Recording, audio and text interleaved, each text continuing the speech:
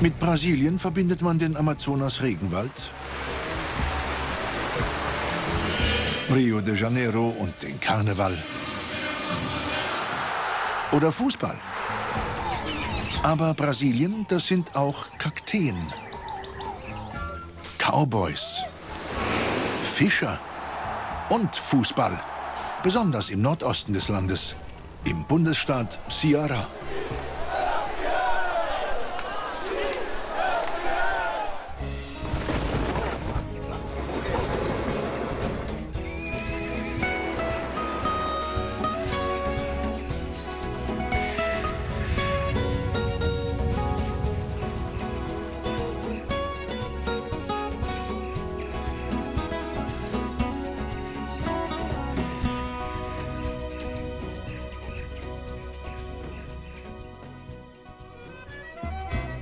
Die wüstenartigen Landschaften im Nordosten Brasiliens heißen Sertão.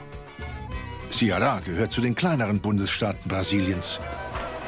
In seiner Hauptstadt Fortaleza leben mehrere Millionen Menschen. Eine ganz normale Großstadt, außer dass fast immer die Sonne scheint und man die Abende im Freien verbringen kann.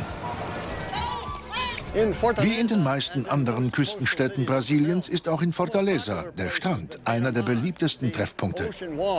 Auf der Uferpromenade kann man kilometerweit direkt am Meer spazieren gehen. Das ist in Fortaleza besonders schön, weil die Temperatur immer zwischen 25 und 30 Grad liegt. Ob als Familie oder allein, hier gibt es alle möglichen Freizeitaktivitäten für einen angenehmen Tag am Strand.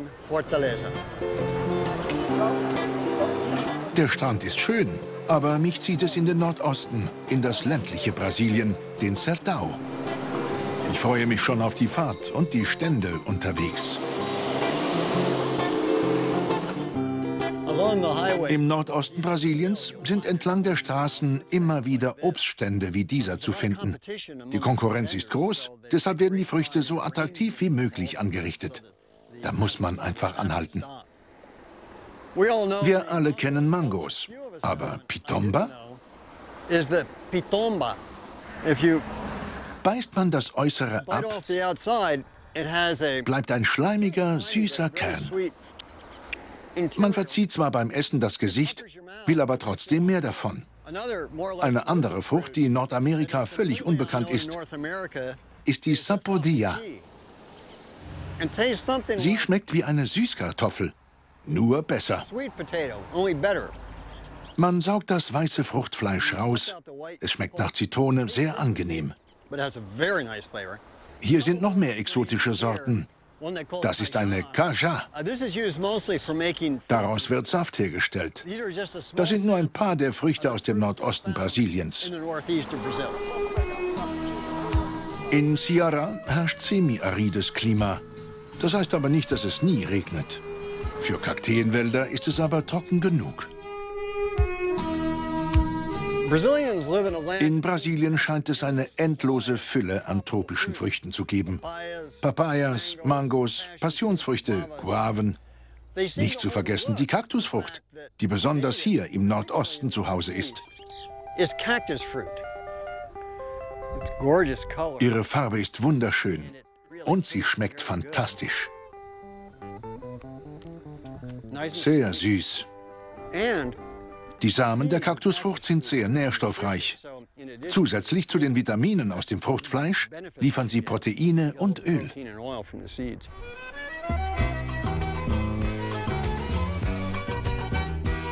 Ceará hat kilometerlange Strände. Lange bevor die Badeorte entstanden sind, lebten die Menschen hier vom Fischfang.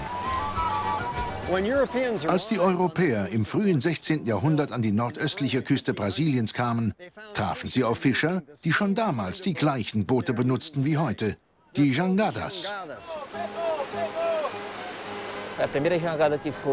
Die erste brasilianische Jangada war die sogenannte Piuba Jangada. Ich selbst habe noch mit so einem alten Boot gefischt. Das war sehr mühsam. Man war allem schutzlos ausgesetzt. Starkem Regen, heftigem Wind, all den Elementen der Natur. Unsere Jangadas sind moderner. Es gibt Kabinen, in denen wir uns vor Wind und Regen schützen können. Das ist schon ein neueres Boot, wenn auch im präkolumbianischen Stil. Das ist der Ofen. Kokosnussschalen dienen als Holz. Hier kommt ein kleiner Topf rein und hier wird Feuer gemacht. Man muss alles mitnehmen. Hier wird Wasser aufgekocht, man gibt Mehl und Fisch hinein.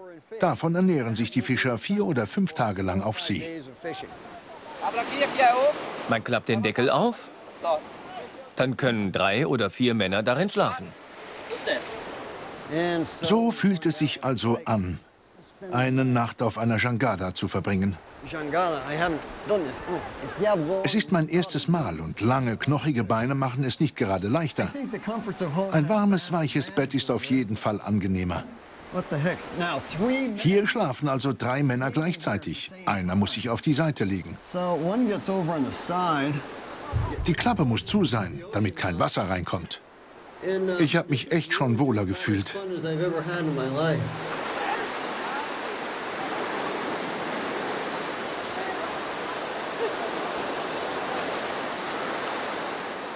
Dann wird das Segel nass gemacht. Der Stoff ist sehr durchlässig. Durch das Wasser werden die Poren geschlossen und das verstärkt die Antriebskraft des leichten Windes vom Land. So ein Boot muss erst mal raus auf die hohe See. Da ist jede Hilfe willkommen, denn da draußen hat man auch noch mit den Wellen zu kämpfen. Zum Fischen benutzen sie nur eine Schnur und einen Haken, keine Ruten. Sie kennen sich aus. An der Berührung des Fisches erkennen Sie die Art. Bei dieser Tour sind Sie hinter einem ganz besonderen her.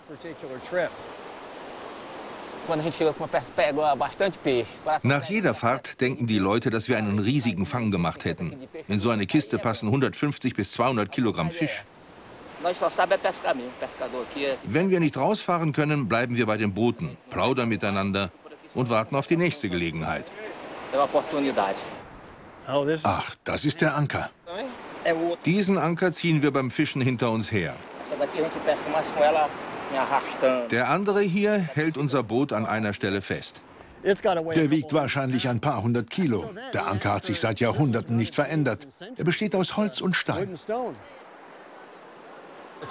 Diese Tradition ist über 500 Jahre alt und existierte wahrscheinlich schon lange, bevor die Europäer kamen. Fernab der Küste beginnt der wahre Serdau, das Land der Rinder und Cowboys. Für die Vaquejada trainieren die Cowboys und Viehhirten fast täglich. Es ist eine sehr beliebte Sportart. Sie müssen also sehr gut sein. Soweit alles normal. Wenn ich nicht auf beiden Seiten von Papayabäumen, Mangobäumen, Bananenbäumen, Zuckerrohrfeldern, Kokosnussbäumen und Cashewbäumen umgeben wäre. Das passt nicht zu meiner Vorstellung von Cowboy-Kultur. Aber das ist ja auch der Nordosten Brasiliens. Wir reiten jetzt auf das Trainingsgelände. Ich reite mal vor. Ich werde ja gleich sehen, was mich erwartet.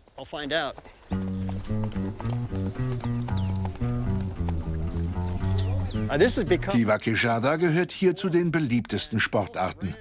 Die reichen Farmer lassen ihre besten Cowboys gegeneinander antreten.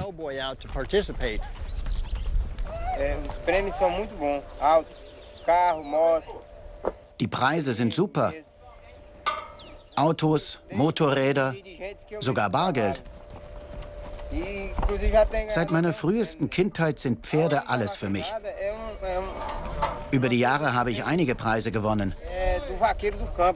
Ursprünglich wurde die Wakischada im Freien ausgetragen. Heute finden die Wettbewerbe in Arenen oder auf Pferderennbahnen statt. Damals waren die Regeln noch ganz anders. Der Erste, der den Schwanz hatte, hat auch versucht, das Rind auf den Boden zu werfen. Ziel dieser Jagd ist der Schwanz des Rindes. Wenn man ihn in der Hand hält, wird er an den Partner weitergereicht. Der versucht dann, während er den Schwanz des Rindes festhält, sein Pferd so zu bewegen, dass er das Rind zu Fall bringen kann. Hat er das geschafft, ruft der Schiedsrichter, Value Boy, gut gemacht. Da, er hat den Schwanz, Value Boy. Der Estero hält den Schwanz fest und gibt ihn an den Pushador weiter. Gleichzeitig achtet er darauf, dass das Rind weiter geradeaus läuft, damit der Pushador es zu Fall bringen kann. Länder, in denen es riesige Rinderherden gibt, betreiben meist auch einen entsprechenden Sport, wie Rodeo in den USA oder Polo in Argentinien. In Brasilien ist das die Vaquejada, die aus dem Nordosten kommt.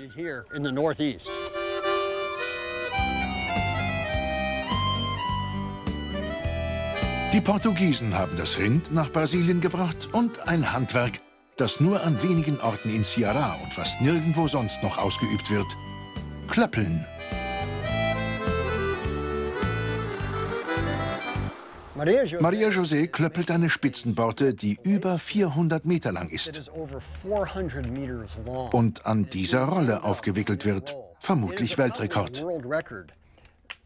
Für die meisten Kleidungsstücke, die aus Spitze bestehen, bildet dieser Stoff die Grundlage.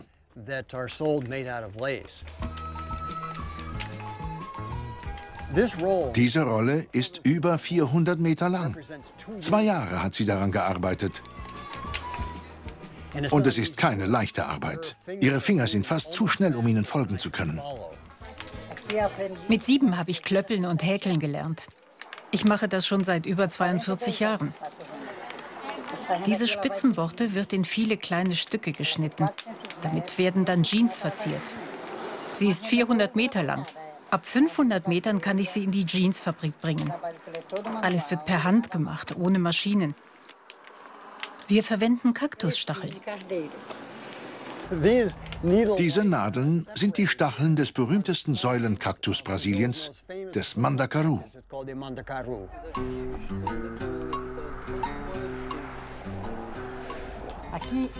Das sind Klöppel. Das sind also die Klöppel. Ihr Gewicht hält die Spannung in den Fäden.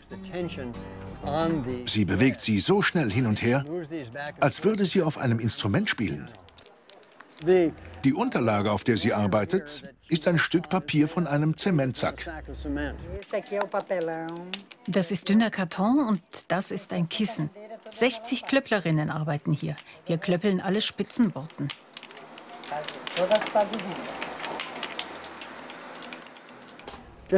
Genau wie der Fußball kam auch die Spitzenklöppelei durch die Engländer nach Brasilien. Die Brasilianerinnen haben das Klöppeln ausgebaut. Und der Nordosten des Landes wurde das Zentrum der internationalen Spitzenproduktion.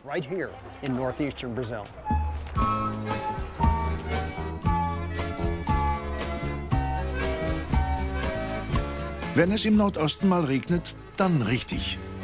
Die Gegend ist bekannt für viele interessante Punkte, an denen man bei diesem Wetter eine Pause machen kann. Zum Glück ist mein Freund Ricardo Becerra bei mir. Er kennt sich hier aus. Hier wird Zuckerrohr verarbeitet. Der gesamte Produktionsprozess findet hier statt. Das Zuckerrohr wird in diese Mühle hier gegeben, die den Saft herauspresst. Der Saft gelangt dann in diese Bottiche, die von unten beheizt werden. Wenn die Flüssigkeit die perfekte Konsistenz hat, wird sie in diese Formen gegossen und getrocknet. Heraus kommen die sogenannten Batidas. Der Geschmack ist neu. Sieht aus wie Anis. Seit Jahrhunderten ist der Herstellungsprozess derselbe, womöglich schon seit 300 oder 400 Jahren. Achtung, es ist heiß. Es ist heiß. Und was ist da alles drin? Erdnüsse, aber das ist neu. Früher war es nur Zuckerrohr und Kokosnuss. Heute verwendet man Erdnüsse, Ananas, Cashewnüsse. Cashewnüsse. Es ist sehr süß, aber nicht zu süß. Und die Erdnüsse passen perfekt dazu. Das heißt Rapadura. Rapadura. Rapadura bedeutet hart, genau. Es gibt noch ein anderes Zuckerrohrprodukt, das etwas stärker ist. Rum. Oder? Genau, das ist Cachaça. Cachaça. Richtig. Gibt's auch Cachaça ohne Hummer? Klar, das ist nur eine neue Sorte. Das sieht lecker aus. Das sind Früchte? Tropische Früchte, also Ananas, Melone. Cachaça ist eine einfache, klare Spirituose, die sehr, sehr stark ist. Cachaça wird aus Zuckerrohr hergestellt. Aber in Brasilien verwendet ihr Alkohol auch als Treibstoff für Fahrzeuge. Ja, unsere Autos sind, wie sagt man, Alkoholiker. Apropos Autos, lass uns weiterfahren. Ja, eine gute Idee. Der Regen zieht schnell vorbei und Ricardo nimmt mich mit zu seinen Freunden, die auf dem Land leben. Das ist ein typisches Haus im Sertão. Es ist gut in Schuss. Hier ein schöner Holztisch. Überall hängen religiöse Symbole. Hier sind die Hängematten, das Schlafzimmer, unabhängig davon, wo sie gerade hängen. Manchmal gibt es auch einen eigenen Raum. Alles sehr einfach, aber perfekt an diese meist recht trockene und warme Umgebung angepasst.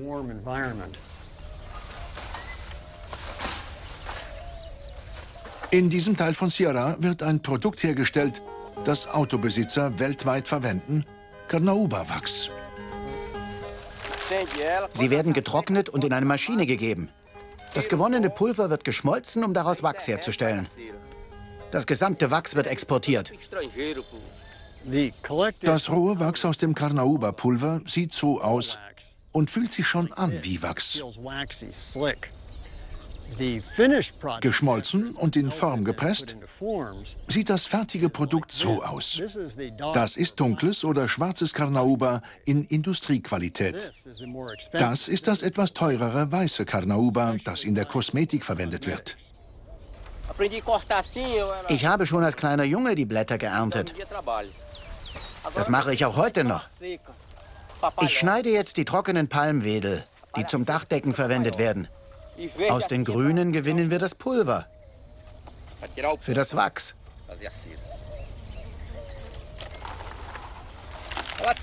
Früher haben wir nicht viel Geld dafür bekommen.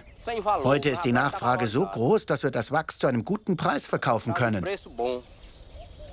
Das verwendet man sehr häufig. Es ist sehr scharf.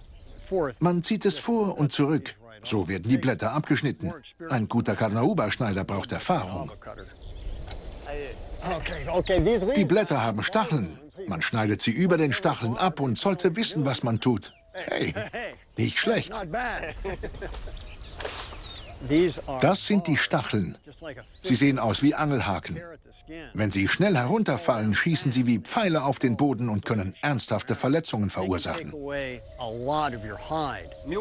Aus 1000 Palmwedeln erhält man etwa 13 bis 15 Kilogramm Pulver.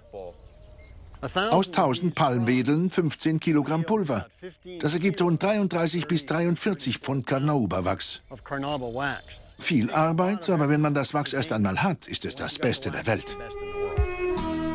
Etwa 160 Kilometer entfernt liegt die kleine religiöse Stadt Canindé. Hier gibt es eine Besonderheit. In keinem Land der Welt leben so viele Katholiken wie in Brasilien. Das wichtigste Heiligtum der Katholiken in ganz Brasilien befindet sich hier in der kleinen Stadt Canindé in den Weiten des Sertão. Die Legende besagt, dass sich drei Brüder dieses Land teilten. Nachdem sie den Bau einer Kirche ablehnten, wurde der Älteste krank und starb. Auch der Zweite wurde krank und starb. Als der dritte Bruder erkrankte, erlaubte er den Bau der Kirche, sofern sich sein Zustand bessern würde. Das tat er, und so konnte an dieser Stelle die Basilika des heiligen Franziskus entstehen. Die Statue des heiligen Franziskus hinter mir ist über 30 Meter hoch. Es ist die wahrscheinlich höchste Statue des heiligen Franziskus weltweit. Der Grund, weshalb sich Hunderttausende Pilger auf den Weg nach Canindé machen, liegt nicht nur an deren Verehrung des heiligen Franziskus, sondern an den Geschichten über die vielen tausend Wunder. Das ist das Haus der Wunder. An dieser Wand hängen Fotos von Menschen, die glauben, dass sie durch ihre Pilgerreise wieder gesund wurden. Verletzungen, genetische Erkrankungen und so weiter wurden geheilt. Wenn eine bestimmte Verletzung oder ein Körperteil geheilt werden soll, nimmt man es symbolisch mit auf die Pilgerreise nach Canindé. Hier gibt es eine ziemliche Auswahl an Holz, Gips und teilweise sogar Plastikteilen, die die Leute mitbringen und in der Hoffnung hier lassen, dass das Wunder des heiligen Franziskus auf sie einwirkt und sie geheilt werden. Es kommen so viele Menschen hierher, dass dieser Behälter alle zwei Monate geleert werden muss. So stark ist ihr Glaube daran. Menschen aus aller Welt kommen hierher. Aus Frankreich, aus den USA, sogar aus Japan. Mit zwei Millionen Personen pro Jahr sind wir die größte Franziskaner-Pilgerstätte in ganz Amerika. Erst vor kurzem haben wir das 500-jährige Jubiläum gefeiert. Es ist der Glaube, der die Armen und Hungrigen nährt. Der heilige Franziskus ist unser Arzt und unser Freund. Er ist der Heilige der Armen. Canindé ist die größte Pilgerstätte der westlichen Hemisphäre und eine schöne Stadt. Ich hatte Arthritis. Der heilige Franziskus hat mich geheilt. Mein Körper war voller Schwellungen. Ich habe unserem Heiligen ein Versprechen gegeben und er sagte, dass es mir bald besser gehen wird. Ich war nie wieder krank. Der Legende nach ist das erste Wunder in Canindé einem Steinmetz widerfahren. Er hat an diesem Turm gearbeitet und ist abgerutscht und wäre vermutlich etwa 100 Meter in die Tiefe gestürzt. Doch sein Hemd ist an einem Gesimstürmchen hängen geblieben. Er hing so lange, bis man ihn bemerkte und befreite. Das ist doch wirklich ein Wunder.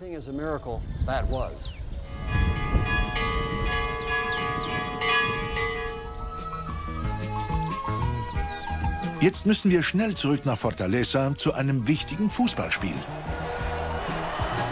Niemand kennt sich im Fußball besser aus als mein Freund Marcus Machado.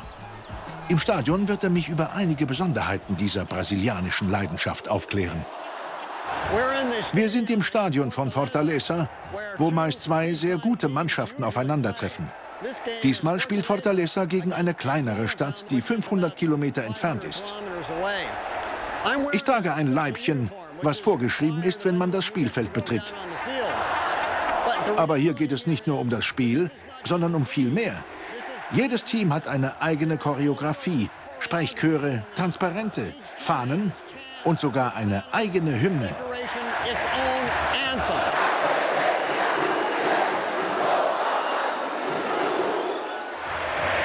Das Stadion hat 70.000 Plätze.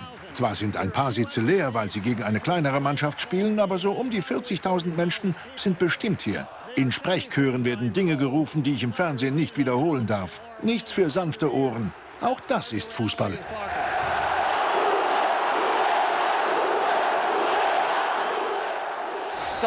Fußball ist für uns wie eine Religion. Es ist ein sehr, sehr wichtiger Sport. Ich habe gehört, die Engländer haben Fußball nach Brasilien gebracht. Die Briten. Stimmt das? Ja, das stimmt. Sie haben den Fußball entdeckt, sie haben ihn erfunden und die Brasilianer haben ihn übernommen. Und den besten Fußball der Welt daraus gemacht. Stimmt. Dieses Jahr gibt es circa 500 Profimannschaften. 500 Profimannschaften? Ja.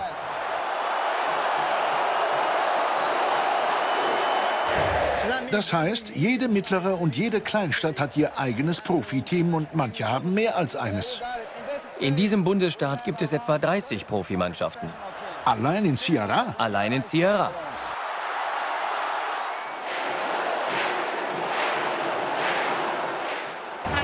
Wer in Brasilien nicht bei einem Fußballspiel war, hat Brasilien nicht wirklich kennengelernt. Nein, dann hat man Brasilien nicht richtig kennengelernt. Das ist wie nach Italien zu fahren, ohne den Papst zu sehen. In welchem Alter bekommen Jungen oder Mädchen ihren ersten Fußball geschenkt? Bei ihrer Geburt. Sobald sie auf der Welt sind, bekommen sie einen Fußball? Jungen bekommen von ihren Vätern ein Trikot der Mannschaft. Als ich geboren wurde, brachte mir mein Vater ein Trikot. Fortaleza gewinnt gerade das Spiel und wer glaubt, dass es jetzt schon aufregend ist, sollte bis zum Ende warten. Die bengalischen Feuer sind schon gezündet und später rennen die Fans dann aufs Spielfeld und schauen sich das richtige Feuerwerk an. Die Mannschaft aus Fortaleza hat die Meisterschaft im Bundesstaat gewonnen.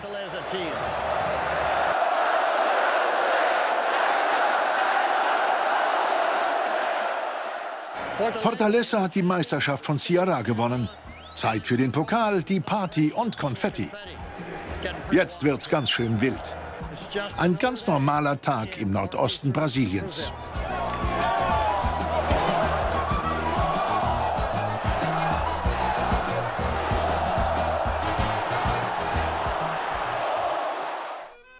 Mein Hut ist aus Australien. Seiner wurde von Hand gefertigt und ist aus Leder. Mal sehen, wer den schöneren hat hat. Der ist ein bisschen schwerer, aber ich denke, seiner hat mehr Stil.